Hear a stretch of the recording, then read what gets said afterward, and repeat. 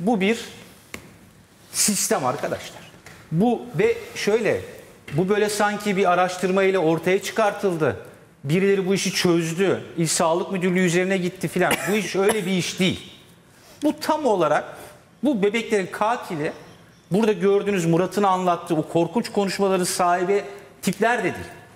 Bu sistemi inşa edenler. Yani bebeklerin ölümünden para kazanan sadece bunlar değil. Veya bebeklerin gereksiz bir şekilde yoğun bakıma kaldırılmasından sadece bunlar sorumlu değil. Bu sistem AKP'nin o neoliberal politikalarıyla inşa edildi. Neden inşa edildi? Senin benim vatandaşın canı üzerinden biz müşterisiyiz onların. O siyasetçilerin oturdukları koltuklar var ya makamlar. Biz onlar için vatandaş falan değiliz. Biz onların para kazanacakları hastalandığımızda bebeklerimiz hastalandı. Bebeklerimiz olduğunda onların para, para kazanacakları müşterileriz biz. Bu sistemin özü aslında bu bebek katili rejimin özü bu. Bebeklere bile acımayan bu sistem hiçbir vatandaşına acımayıp onları sadece doların yeşili olarak gören bir sistem. Nasıl? Senin dediğin sorun da tam yanıtı burada. Ne oluyor? Şöyle sistem şu. O kadar basit ki. Bakın birinci şirket var. Şirketin Fırat Sarı diye eskiden PKK'dan da yargılanmış bir doktoru var. Bu doktor bir şirket kuruyor. Medisense Sağlık Hizmetleri şirketini kuruyor ya. Ne yapıyor? Bakın tamamen yasa dışı bir şekilde. Tamamen yasa dışı bir şekilde. Ama sistemin de izin verdiği şekilde. 11 tane hastaneyle anlaşıyor.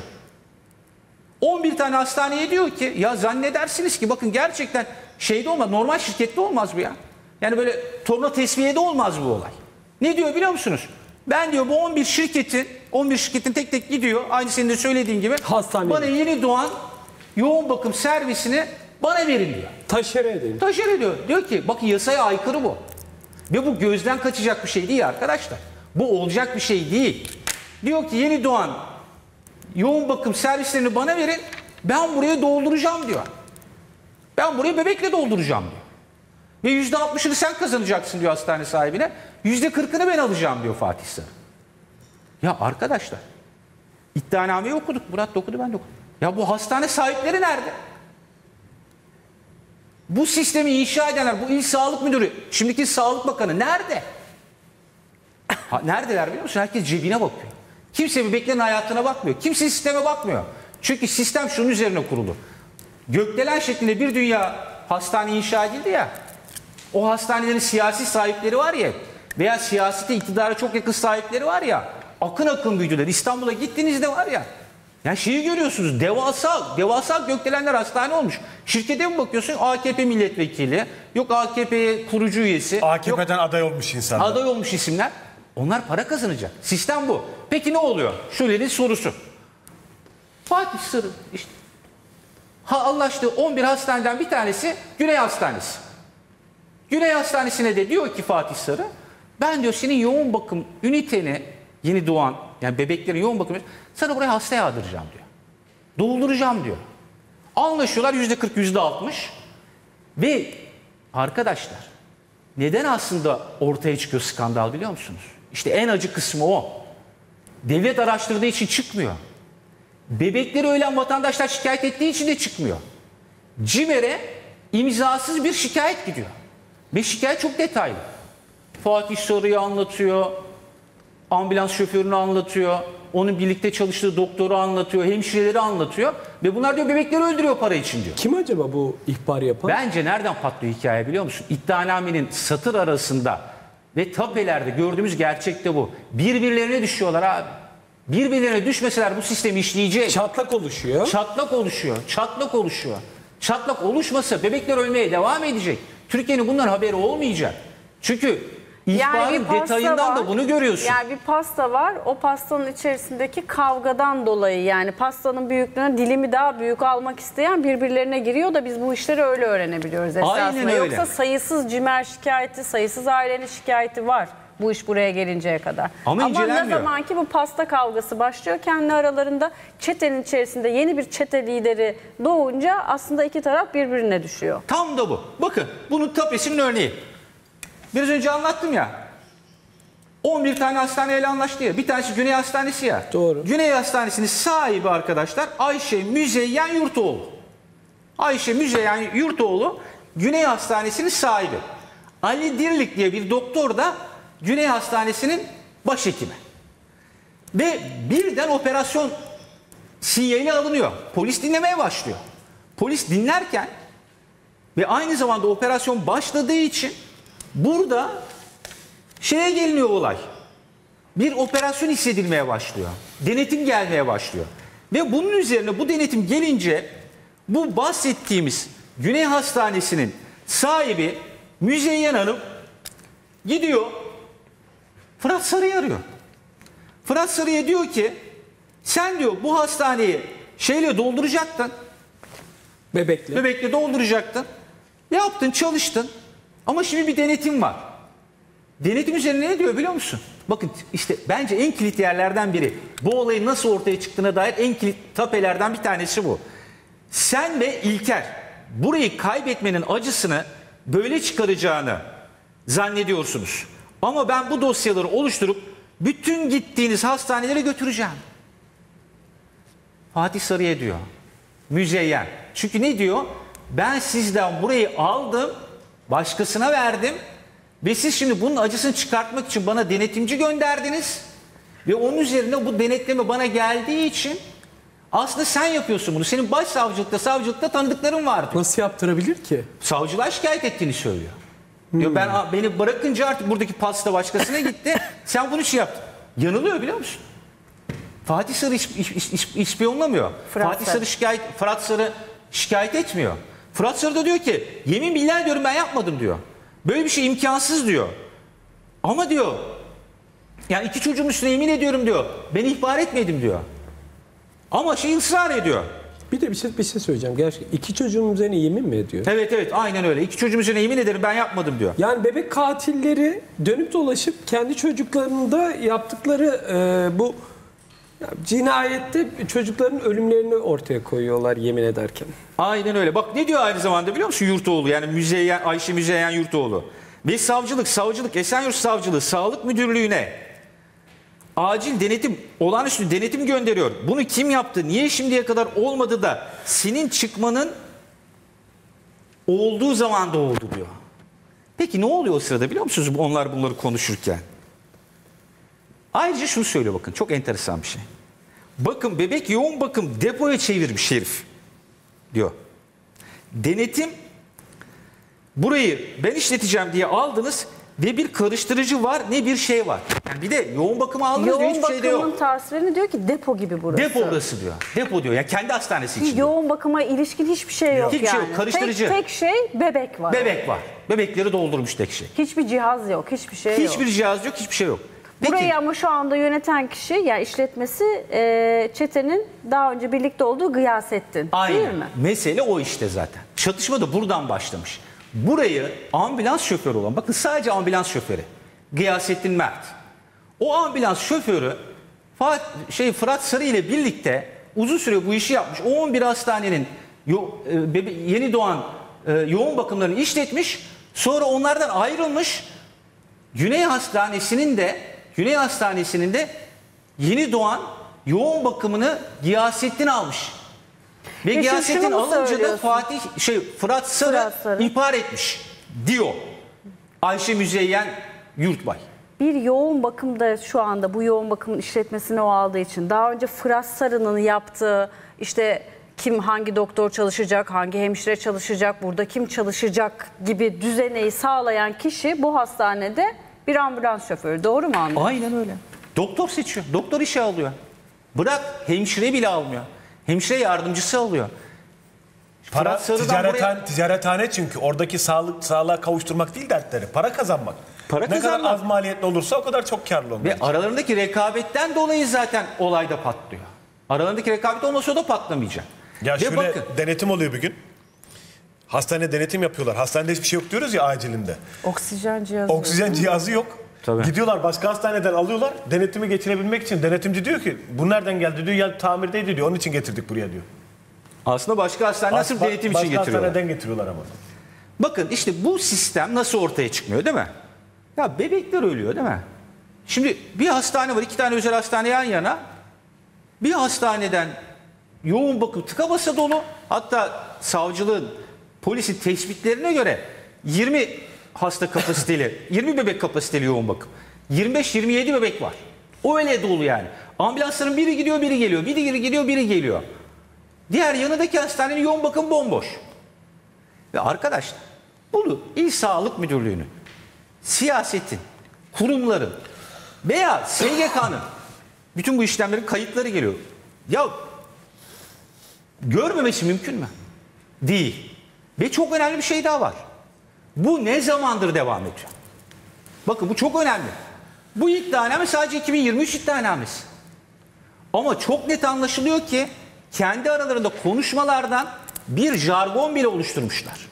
Bir jargon bile oluşturmuşlar. Bu yıllardır devam eden bir şey. Yıllardır bebekler para için öldürülüyor. Bilmediğimiz hastaneler, bilmediğimiz e, ölümler var yani. Kesinlikle bilmediğimiz bu buzdağının görünen yüzü sadece. Soru şu bak bu, bu soruyu yine bırakıyoruz yani bazı hani yanıtını bildiğimiz ve devamı gelecek kişiler için. Yani bunlar dokunabilen hastaneler mi? Dokunamadığınız hastaneler var mı? Kesinlikle çok doğru bir soru. Çok çok doğru bir soru. Yanıtını mutlaka Bu alınması gereken. soru. sahipler ve sahiplerin ilişkileriyle de ilgili bir şey. Elbette. Kesinlikle. Bakın işte onunla ilgili. Çok Sermayesi- tam da bu. Tam da dediğin nokta. Bahsettiğim Güney Hastanesi var ya. Biraz önce konuştuk. Evet. Ayşe Müzeyyen sahibi. Orada konuşuyor. Diyor ki sen diyor beni ihbar ettin diyor. Çünkü ben Gıyasettin'le anlaştım diyor. Ambulans şoförüyle anlaştım diyor. Ondan sonra Gıyasettin Mert Özdemir yani ambulans şoförü. Ya zaten bir ambulans şoförüne yeni doğan yoğun bakımı nasıl emanet edilir? Nasıl emanet edilir? Hiçbir eğitim yok. Bir ambulans şoförü. Onun doktor bulacak, hemşire bulacak, hemşire yardımcısı bulacak. Yani bir sistemi sen buna hastane sahibi olarak nasıl teslim edersin değil mi? Bu nasıl yakalanmaz? Ama bak na- nasıl yakalanmaz? İşte şöyle yakalanmaz. Giyasettin Mert Özdemir'le Ali Dirik, Doktor Ali Dirik, başhekim. O hastanenin, Güney Hastanesi'nin başhekimi. Tapelere yansıyor konuşması. Ve tapelerde diyor ki, şeyden bahsediyorlar, hastane sahibinden bahsediyorlar. Diyorlar ki bir operasyon var, bak bir tanesi yakalanmış, konuşuyor, şey yapıyor filan. Diyor ki Ali Dirik, konuyu başsavcılıkla falan görüşecek Müzeyyen Hanım. Ekranda- Ulaşmış. Ekranda Şurada var. okumak. Evet. Bakın konuyu başsavcılıkla görüp ulaşmış diyor. Giyasettin Mert Özdemir diyor öyle mi? Hı hı diyor. Giyasettin Mert Özdemir o çok iyi diyor. Yani çözülüyor hikaye diyor. Yakalanmayacaklar. Çünkü siyasi bağlantıyla çözeceklerini biliyorlar. Ali Dilik diyor ki savcıyla görüşecek bir de müdürlüğünde buranın MHP ilçe başkanını alıp ya da AK Parti ilçe başkanını alıp bir müdürlüğe gidecek. Aramızda Allah kalsın bunlar. Allah ya. Ya arkadaşlar bu ne demek ya? Bakın bebek öldüren, para için bebek öldüren insanlar şu pazarlığı, şu diyaloğu kuruyorlar. Savcıyla görüşecekler, kurtulacaklar. Yetmedi, müdürlüğe gidecekler. Orayı da bağlayacaklar. Olmadı buranın MHP ilçe başkanını alacaklar. Ya da AK Parti ilçe başkanını alacaklar. Müdürlüğe gidecekler. Bir işi kapatacaklar.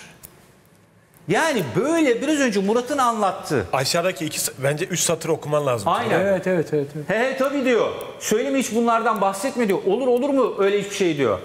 Hiç diyor teyniye, teyniye de söyleme diyor. İşte o şey yapıyor. Yok yok yani siyasi bir kanattan siyasi şey aracılığıyla onu halledeceğiz biz. Siyasi kanattan halledeceğiz diyor. Hadi inşallah hadi inşallah diyor.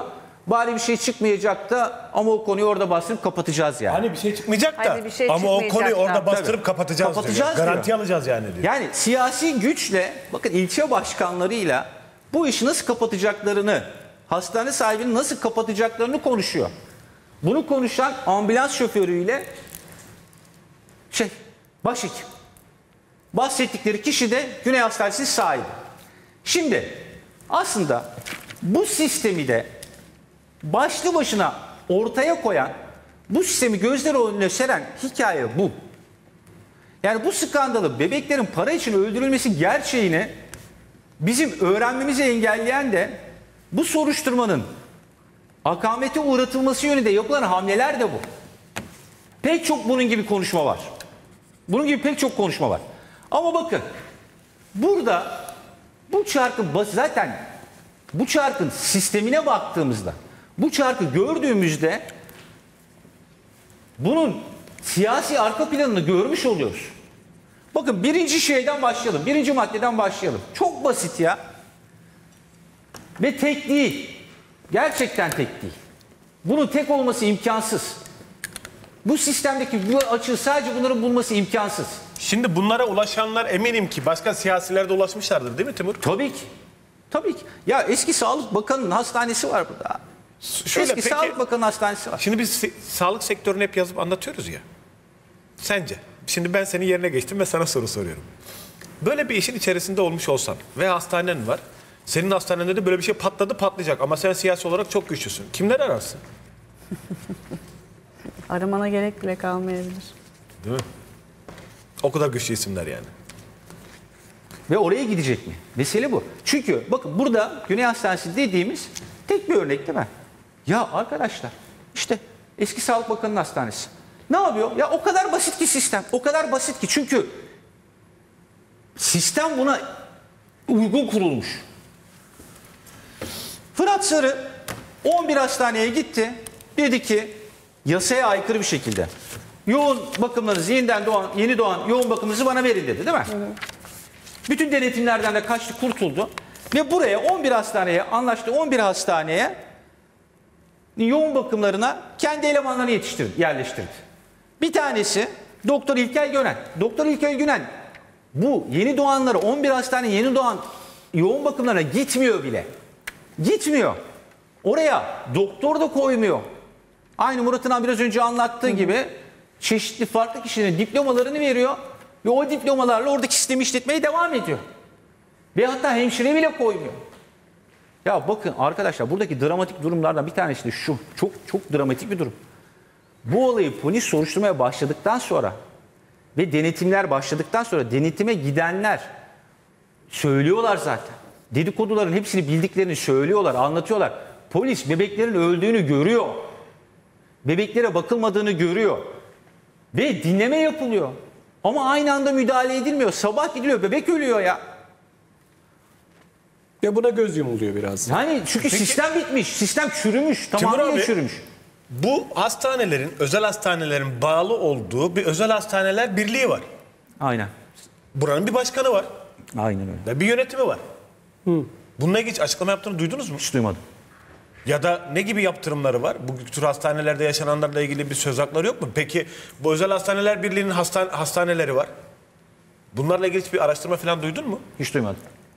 Hatta Sahibi şunu böyle büyük hastane sahibi falan mı? Ben de bilmiyorum işte onun için soruyorum. Ya Murat bak bunlar bu 11 hastane dışında devasa hastaneleri farklı bir sistem işlediğini düşünüyorum. O nedenle tüm aslında Murat'ın sorusunun yanıtı yine kendisinde var. Ama bu tabii ki e, açıkladığında SGK bunu göreceğiz. SGK ne zaman ki bu e, parayı açıklar yani buradan nasıl bir e, Rant zarar etti. evet. Az önce e, yasa dışı bahiste bir havuzdan söz ettiniz ya 50 milyar dolar gibi. Ne dedik? O 50 milyar doların olduğu yerde her şey olur ve işte gidemezsin oradaki barona. Çünkü çok büyük bir pasta.